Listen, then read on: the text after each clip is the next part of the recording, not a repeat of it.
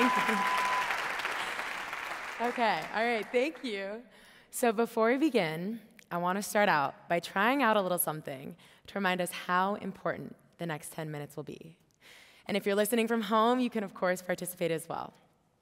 Raise your hand if you can think of just one moment in your life where you haven't felt good enough. All right, seeing a lot of brave hands. There we go. All right, now, put your hand back up if that moment had anything to do with your physical appearance. Maybe your confidence about your physical appearance or just the way you see yourself. Okay. Whether you raise your hand or not, hopefully in the next 10 minutes, I'm going to change your perspective on the answer to that question. But before I can do so, I need to take you back to 2019. It was my 20th birthday. I was, according to society, in the best shape of my life that year. So naturally, my food regimen looked like no other. I knew because of that, this birthday was going to look a little differently.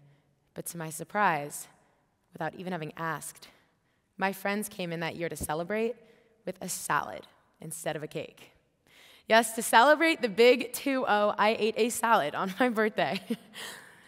and while this might sound like a minute detail in my big day, it was actually the first moment I realized I had been spending the entire year leading up to this birthday valuing myself more on making sure I met all those pressures around body image than valuing my life on being able to participate and celebrate fully in important and special moments like this one. Okay, but the unfortunate taste of kale is not why this day stuck with me forever.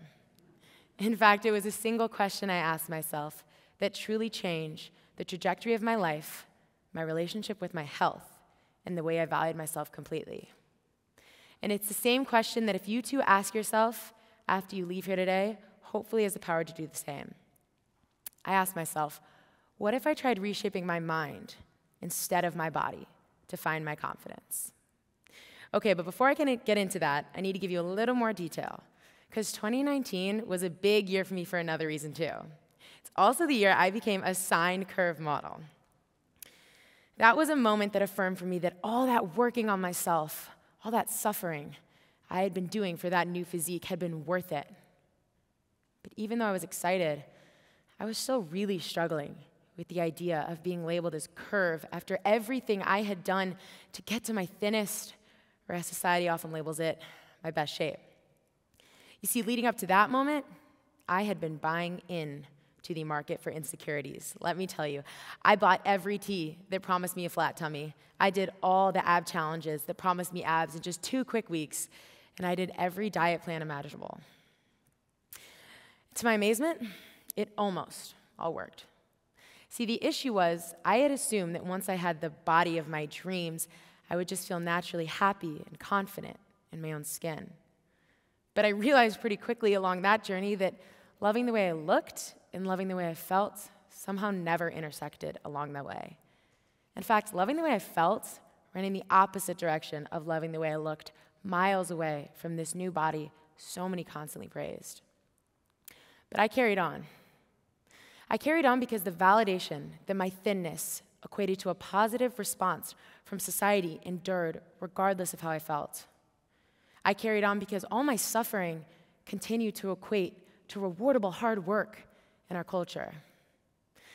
So, when I had my very first opportunity to go to my very first casting for potentially what was going to be my very first modeling job, I was heartbroken when the first thing the director told me was, I'm sorry, I just don't think you're quite curvy enough to fit into any of these clothes.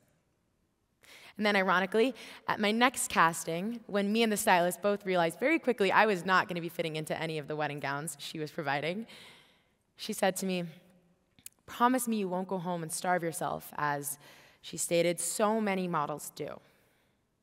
And while they meant no harm and rejection is a part of every career, they reaffirmed a narrative that I honestly already believed myself that it was not only acceptable, but expected that I would equate my body shape with my sense of worth. And isn't there something ironic there?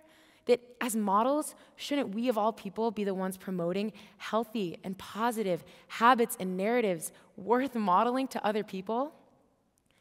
I began to wonder if every habit I have to endure to get the body the world told me I should want makes me miserable.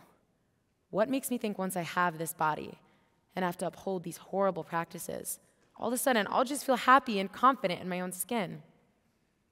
And if my sense of worth is built on something as fleeting as body image, which can always change, the body type you want can always change, what made me think a deep sense of self satisfaction could ever catch up? Well, in answering these questions, I came to four realizations. One of which was that question I asked myself on my 20th birthday, but the first was this There is a market for insecurities. And where there is a market, there is always an assurance of demand. In this case, that demand being that 20 year olds, like myself at the time, continue to feel insecure. But not only that, continue to feel like they need to change their physical appearance to find that confidence. And not only that, they need this product and that product to make it all happen. Number two, I'm sure you've heard this one before, but TV shows, movies, and social media, they're all beasts in themselves. And the most dangerous part of this is that so often the body standards being promoted to you and the horrible habits being endured remain behind the scenes. Number three, there is a serious lack of space and acceptance around the healthy weight fluctuation that accompanies a growing and developing young adult body, especially for females.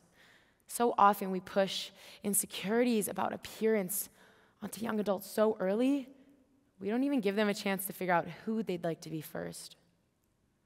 So, in all this, I realized something pretty ironic. I had been consuming how I felt about myself. But let's think, of, think about that for a moment. We define our internal identities by external factors. We define our relationships with ourselves by external influences and pressures. So, the fourth realization I had was the one that brought me to this stage, the question that changed it all, the one I asked myself on that birthday. What if I tried reshaping my mind instead of my body to find my confidence? Meaning, what if instead of changing my body shape to find that sense of confidence I long for so badly, I changed my entire way of valuing myself so that I could define myself by pillars of my identity that wouldn't fluctuate with my body shape. To find the answer, I had to become conscious of my subconscious. I had to figure out what I had done to get to this place where I had become so defined by my body image that it shaped my entire lifestyle and sense of worth. And then I had to unravel it all piece by piece, until an uncarved, vulnerable framework to build a new self image upon came to the surface. To be honest, it was absolutely terrifying. But each day, little by little, I began to practice healthier habits. Rather than using the mirror as a way to criticize and analyze, I used it as just a way to say hello in the morning rather than how, talking about how full I was after every big meal or how, how little I'd eaten, if in reality I just hadn't eaten enough, I just ate the food. And soon I really did begin to focus more on shaping my goals and my future and less on my body shape. Dreams first, body second. And while those health habits were important and relevant every day, they were no longer at the forefront of what defined me. Meaning, when I worked out, I only worked out because I needed extra strong legs to chase my ambitions that day. And when I ate a little healthier, it's because I needed a little more brain power to conquer the moment. See, now my body was becoming this tool in my journey, but not the end game of it. I defined myself by pillars that were so much stronger that even as my body began to change, I still felt that deep sense of confidence. So, Today, I'm asking all of you to forget the ideals and let's get real. Get real with yourself about how you're feeling. In case you're wondering, I stayed in the industry I love for two very important reasons. The first is this once I felt that deep sense of security and confidence with myself, I began to look at the power that the industry has in shaping young adults and how they feel about themselves. And while this power is intimidating, if we shape it in the right direction, it can be something really beautiful and empowering. The second is this we need more models who model transparent, healthy habits as a priority. Because if we want young adults, all people, but especially young adults, to look up to us and say, I want to be just like them, we have to shape that notion in the right direction with better narratives and better habits. Oh, and in case you're wondering, the happier, healthier, curvier version of myself began to book jobs the once insecure version of myself could have only dreamed of. Because now I was more focused on making sure my confidence, my power, my personality came out in every shot, not just my thinness. So, to close, I want you to leave here feeling like whatever you want out of this life, you deserve to strive for it.